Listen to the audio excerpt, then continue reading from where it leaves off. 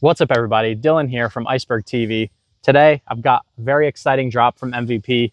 I haven't gotten mine in the mail yet, waiting on my package from Powergrip, but Jeremy was kind enough to let us borrow his trails for today.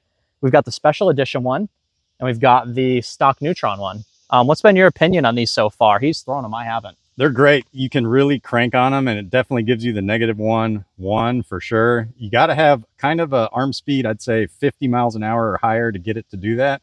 If you throw it a little bit softer, it's just going to kind of be a little bit of a beefcake. I feel like 50 miles an hour is like, if you've been playing disc golf for at least a year, you're probably throwing at least close to 50. Mm-hmm.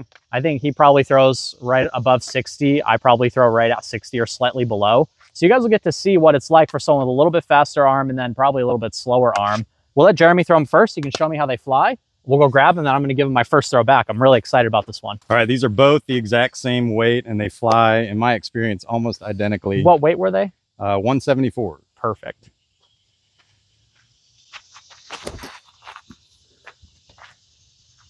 Wow, okay. It's a nice flyer. And it goes far, too. Try and put this one, I want to see some turn on this one. Can you get him to turn a bit too? Get a little stank. Yeah.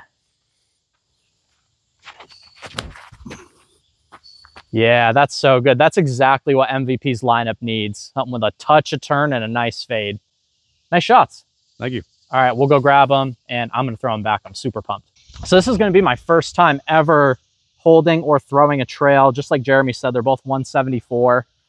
The special edition and the stock run have the exact same parting line, in my opinion. You found they fly mostly the same? It- identical. Identical flight. All right. First shot with the trail. Well, I threw it high enough, that's for sure. It's still Nice got a flip. nice little turn on it. Mm-hmm. That really does fly true to the flight numbers. Let's throw it a little bit lower. Yes, sir. Dude, those are nice. What a flight.